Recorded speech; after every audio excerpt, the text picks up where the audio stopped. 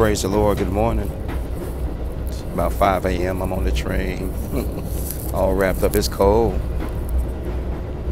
Sometimes I take a nap, sometimes I don't. Most of the time I don't. Don't worry, there's only two people in this car, and and they can't hear me for the train noise. Just walking around in my mind, and I was thanking God this morning for my conscience. You know, when people hurt us and we hurt them,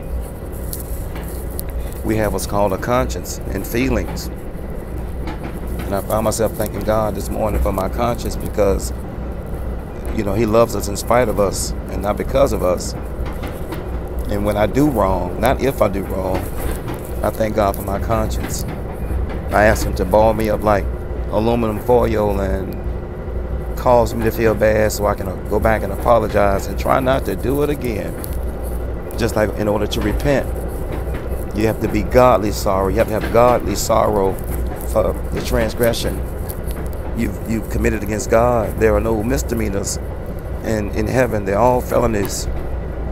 Hmm.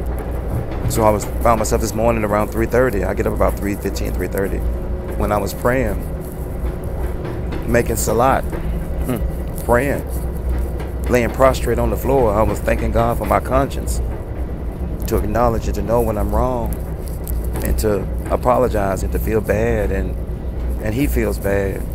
The Bible says, "Grieve not the Holy Spirit of God, whereby you are sealed unto the day of redemption."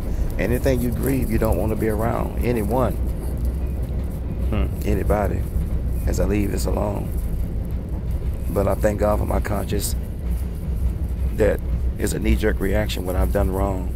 Not if I've done wrong, what I did wrong, what I'm gonna do wrong. Hmm. As I come on down, I thank God for my conscience. I really do. I'm not bragging or boasting. It's, it's a painful thing to have a sensitivity and feelings hmm. and a conscience.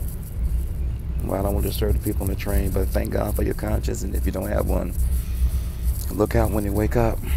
If it's dead, ask God to resuscitate it to resurrect it at the same time. God bless you and God keep you is my prayer. And thank God for my conscience. Hmm. Excuse me. I thank God for when I'm wrong, I know it and I feel it. God bless you. God keep you is my prayer. Peace. One.